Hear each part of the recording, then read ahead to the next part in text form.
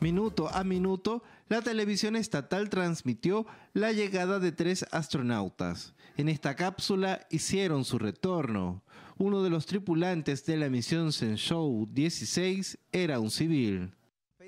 Nuestra misión transcurrió sin contratiempos y ahora me siento feliz de haberla completado con éxito. Viajaron a la Estación Espacial Tiangong a finales de mayo y estuvieron en órbita durante 154 días.